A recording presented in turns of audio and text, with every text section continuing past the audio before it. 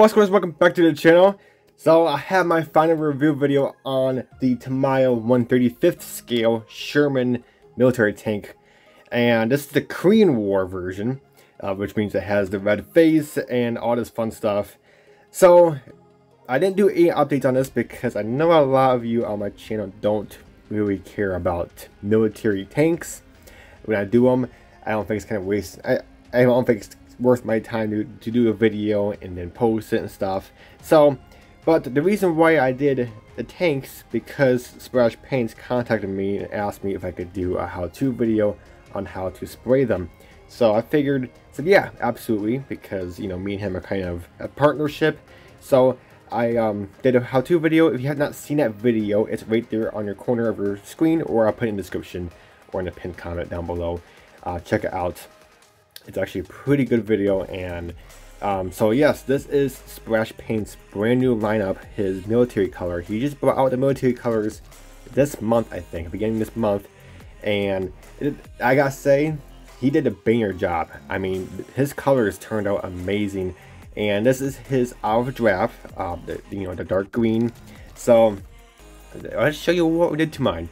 So, of course, the olive drab is his brand new color for military colors and it, it, the thing covered super well. I mean, it this is only one and a half coats of uh, paint right here and it's you know that's how well it covered.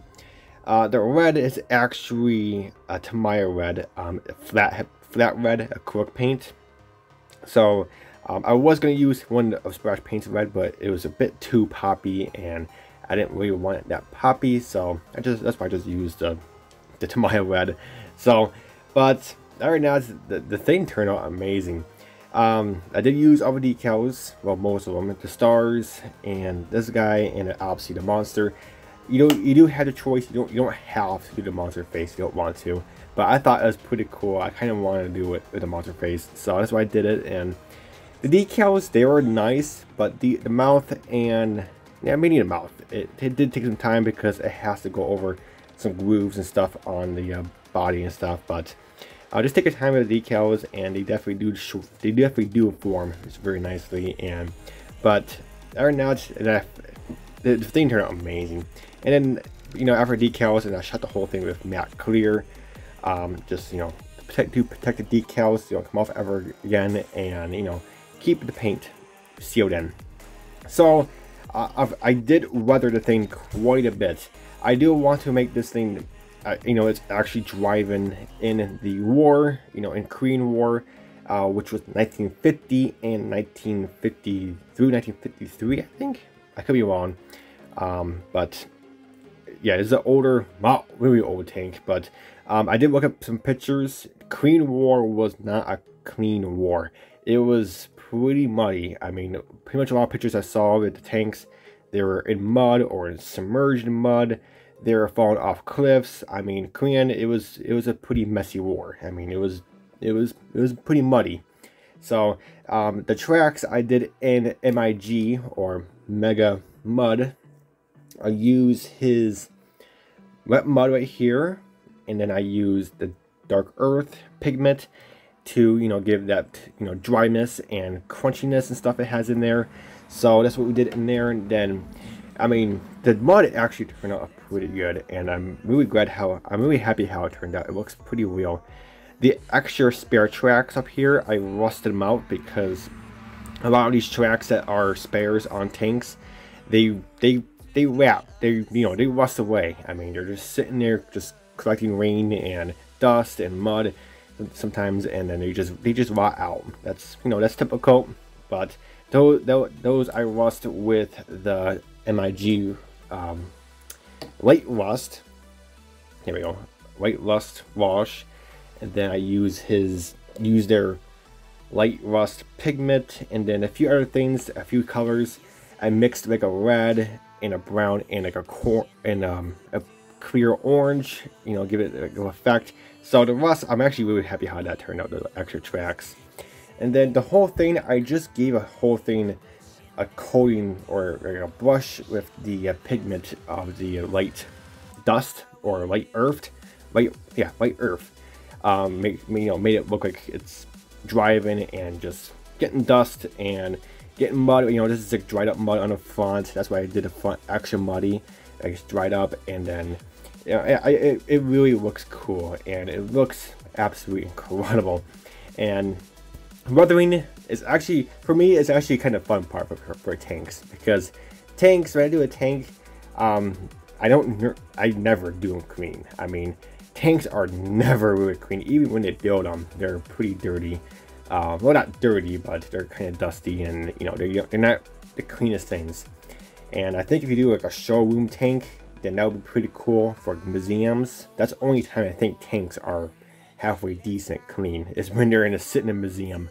But no matter what, if they're in the, um, whatever, if they're just sitting in the um, military base, they're still dirty. They don't really wash them all that well. Um, but like I said, this is what I want to look like it's actually in the war, and you know, it's actually pretty cool. Uh, so the gun on top is 50 cal. I did in the black, and I put on like a dust wash. Um, I can find it. It's like a light. Here we go. Light dust. So it gives it uh, that dusty look. It's pretty cool. So I did that flat black, and then the um, the ammo boxes also down here are spares. I did them in like a lighter green than the actual tank is from Tamiya. Also, it's the same with jerry cans. So pretty cool, and this this is actually a very good detail the you can actually see the um, the bullet shells in the eh, the you know the magazine going into the gun, and I painted those titanium gold, and then black wash them, and it's actually pretty good detail. Tamiya did a, a banger job on this. Then you got your extra tools, shovels, your sledgehammer when they have the hammer on the extra tracks if one of them breaks, you know, and I mean overall this tank turned out amazing. It was actually a very fun build. Very long process. I mean, the road wheels, it did take some time to sand them down. But tanks are fun because you basically just build it all at, at once. Use the Tamiya extra, extra thin cement. Just build it all and then you just paint it all in one, one unit, which is pretty cool. And um, it's, it's definitely, definitely very fun. And weathering, for me, that's the fun part. And, you know, sometimes you, you do have to practice. I mean, this is my third tank. I did the fourth one, which you'll see a video on that one shortly. But this is my third tank I've ever built. And um, it definitely turned out way better than I thought. And it looks really cool. And also, this kit also has a rope here. Pretty cool. And then you attach it with the ends. And then, yeah, amazing. Tamiya has done, done an outstanding job with this kit. I've been wanting to do this kit for quite some time now. Ever since um, Andy Hobby, Andy Hobby Headquarters did a video on it about a few years ago. I thought it was pretty freaking cool. I never got one, and I finally got one, and then perfect moment to do one because Splash Paints asked me if I could do a how-to video on his paints, his new military colors, and it's a perfect time to do the um, military colors and or you know the tanks that I have. So very cool. And then with this tank, that's it for this tank. And that's basically all I did to it. Let's put this off to the side. And let's bring out the bonus kit this kit came with, which was the Jeep. Let's zoom in. This is a Russian Jeep that came in with this Sherman uh, tank kit. It's a bonus kit that Tamiya threw in. Um, I heard that this kit was actually an older Tamiya kit. I think Tamiya released it by itself uh, years, years ago. And I don't think Tamiya's making it anymore, but they obviously still are. They're just throwing it in, in this kit instead. And it's actually pretty cool. And I can tell it was old because it wasn't really going together. I mean, it went together pretty good, but there were some body lines that wouldn't line up too good. You do have to fiddle it a little bit, but I can definitely tell this is an older, much older mold from Tamiya. But I didn't care about fitment because I made it look like it was on fire. This is the first time ever I have done a fire vehicle. I wanted to give it a try. I thought I seen some pictures or some videos, or not videos, but I did see some actual models like on fire at a few model shows. I think I think Acme had one. One guy had like a like a burnt Mustang. I thought it was pretty cool. So I figured with this, this is perfect because the Russians, they were actually enemies in the Korean War. Um, so obviously they're enemies now with Ukraine, but I'm not gonna get into that. But there were enemies also in the Korean, and I I want to do a Russian Jeep, this Russian Jeep, maybe it was burnt and shot up and you know basically just blown to shit. so, um, so I did the weathering in the front. This is actually pretty cool. So all the dents, so basically put the whole Jeep together, the side panels, and the floor and the back it was it was in multi pieces so you have assembled the, the jeep. It wasn't molded like a normal car kit. You do have to assemble the side pieces and stuff. So i assembled the whole jeep. And then i got a blowtorch a mini blowtorch and you know heat up some parts and dented them cut some holes and stuff and melted like the headlights the parts that would melt through the fire because these car fires they get significantly hot and they do melt cars. Like the headlight buckets so i melted those. And you know put I put dents all over it right they're just driving like crazy and they dented the vehicle like the, the fender flares. I put a big dent on the tailgate where you to cut back here. So but I painted the I painted the Jeep in splash paints. Out of draft same as the uh, Jeep but I didn't do a black base coat I just did primer and then just the color or white I did a primer then white and then I did the um, color because I wanted the color not as dark uh, because Russian Jeeps were actually a bit lighter. So, but then I then obviously after that I went ahead and did black on the front, painted. I used the Tamiya flat black acrylic paint and just painted the black very misty mist over here and then pretty heavy over here where the you know the, the fire was and then I used Tamiya NATO Brown and browned up the spots that I wanted to rust on the front. And then, of course, we use the pigments. I use the Light Rust Wash from MIG again, and their Light Rust Pigment, along with some darker rust spots, such as up here. I went ahead and used AK Rust Streak, which is actually a darker uh, rust, just you know darker from the from the MIG. Then the windshield I cracked and put some bolt holes in there, and then the front windshield I put a hole in it.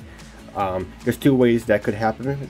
If the Russian guy was driving and he was shooting a pistol while driving through the windshield, that's one way it busted through, or obviously the enemies were going to shoot to kill the driver. Um, so um, pretty cool. So you, no matter what, there's a hole there.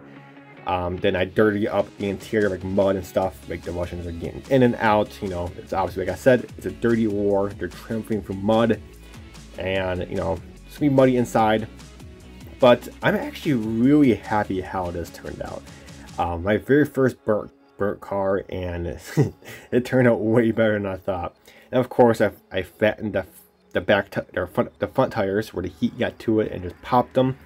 And this kit also has a spare but I actually use that spare for a practice how to flatten tires. I just heat up with a blowtorch and just push it against my desk. Um, so that's my practice, but I left it off because you know I don't want the flat tire on there. And also I've actually put the spare wheel on the front. Like they popped the tire, the original tire, and then they, then they used the spare. Then they just left the other tire stranded somewhere. So that's my uh, little story on that. So this one has, this is the spare because it, because it doesn't have the little thing in, in the center, like this one has it right there, and this one doesn't. So this is a spare, but obviously it's flat again, so it gets like on fire.